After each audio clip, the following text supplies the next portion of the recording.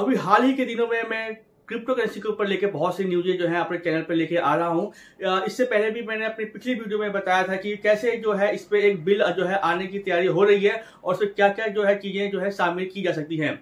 और दूसरी तरफ़ हाल फ़िलहाल में ही दो से तीन दिन पहले ही अभी प्रधानमंत्री नरेंद्र मोदी जी ने अपने संसदीय जो मेंबर्स है, उनके साथ इसको लेकर मीटिंग की है और मीटिंग पे ये जो बातें खुल के आई हैं उसके अनुसार क्रिप्टो करेंसी पर किसी भी तरह का कोई रोक जो है लगने नहीं जा रहा है, यानी जो अटकलें लग रही थी कि भाई आरबीआई ने बोल दिया कि इस पर बैन लगा दो, परंतु इस पर पूरी तरह से बैन जो है नहीं लगेगा। हाँ कुछ नियम और लॉ जो है इसके लिए आ सकते हैं। वो नियम और लॉ क्या होंगे? क्या कुछ पाबंदियाँ होंगी? क्योंकि इस कमेटी में कुछ पाबंदियों को शामिल करने की बात भी कही गई है। वो पाबंदियाँ किस तरह की हैं और क्या है, उसके लिए आप ये पूरी वीडियो जो है देखिए।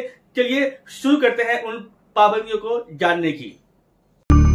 तीन दिन। दो हाई पावर्ड मीटिंग्स पहली की अध्यक्षता खुद पीएम ने की।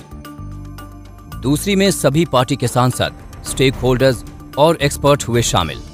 मोदी सरकार के लिए अचानक से क्रिप्टो करेंसी पहली प्राथमिकता बन गई है।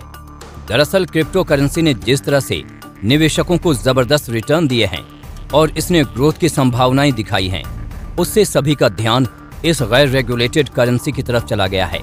अनुमान के मुताबिक भारत में करीब 10 करोड़ निवेशकों के 8000 करोड़ रुपए इसमें लगे हैं। लेकिन किसी भी तरह के कानून के बगैर इस रकम की सुरक्षा की कोई गारंटी नहीं है। ऐसे में मांग की जा रही है कि इसे कानूनी दायरे में लाया जाए। संसदीय पैनल ने डिमांड की है कि निवेशकों की रकम को सुरक्षित रखने का इंतज़ाम किया जाए। अखबारों में आ रहे क्रिप्टो करेंसी के फुल पेज विज्ञापनों से निवेशकों को भरमाया न जाए। और पॉन्जी स्कीम्स के तहत निवेशक इनके झांसे में आने से रोके जाएँ। लेकिन इस सब के बावजूद मान लिया गया है कि क्रिप्टो टेक्नोलॉजी को रोका नहीं जा सकता है। लेकिन इस बात पर भी अभी तक सहमति नहीं बन पाई है कि इस सेक्टर को कैसे रेगुलेट किया जाएगा। इसे रेगुलेट करने में जो अड़चने सामने आ रही हैं, उनमें शामिल हैं। सरकार क्रिप्टो करेंसी को रुपए के मुकाबले वैकल्पिक मुद्रा मानने को राज़ी नहीं है। इसमें होने वाले भारी उतार चढ़ाव और जोखिम के चलते इसे कंपनी का दर्जा देना मुश्किल है। साथ ही एक डर ये भी है कि क्रिप्टो करेंसी का इस्तेमाल मनी लॉन्ड्रिंग और आतंकी मदद के लिए किया जा सकता है। फाइनेंशियल सेक्टर्स पर नज़र रखने वाले दोनों रेगुलेटर्स भी क्रिप्टो करेंसी को लेकर असहज हैं।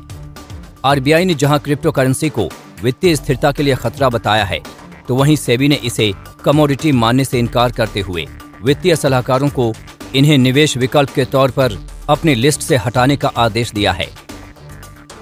इस बीच शनिवार को हुई पीएम मोदी की हाई लेवल बैठक से साफ़ है कि सरकार क्रिप्टो करेंसी को बैन नहीं करेगी, बल्कि कानून के ज़रिए इसे नियंत्रित करेगी। लेकिन इसके वित्तीय और सिक्योरिटी से जुड़े खतरों का समाधान खोजे बगैर इस पे आगे नहीं बढ़ा जाएगा। इसके साथ ही पैनल को ये भी देखना होगा कि निवेशकों के हितों के साथ खिलवाड़ न हो।